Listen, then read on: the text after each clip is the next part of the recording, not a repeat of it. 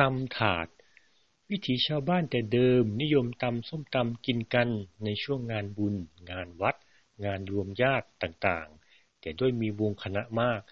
ครั้นจะตำใส่จานก็เสียเวลาตำเสียจังหวะรอ พานจะให้หงุดหงิด กินไม่สนุกไม่อร่อย เลยจัดแจงเปลี่ยนภาชนะจากจานมาเป็นถาดที่หาได้ภายในงาน พร้อมจัดแจงใส่ส้มตำ กากหมูผักกระถิน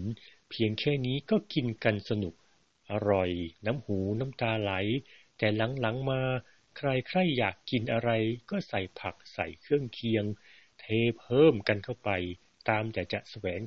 จะตามแต่จะสอดแสวงหา เพื่อความอร่อยนั่นเอง